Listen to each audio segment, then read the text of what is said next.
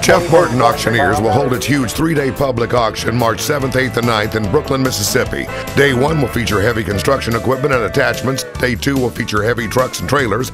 And day three will feature ag equipment, vehicles, and more. There will be two rings selling each day beginning at 10 a.m. Consignment deadline is March 2nd at 4 p.m. Stop by the yard or view the inventory online at jeffmartinauctioneers.com. Jeff Martin Auctioneers, just 20 miles south of Hattiesburg on Highway 49. Buy JMA.com.